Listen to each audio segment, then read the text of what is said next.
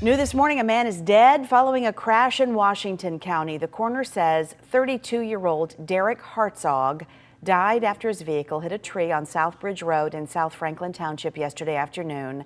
The coroner says Hartzog was alone in the vehicle and was not wearing a seatbelt. State police are investigating.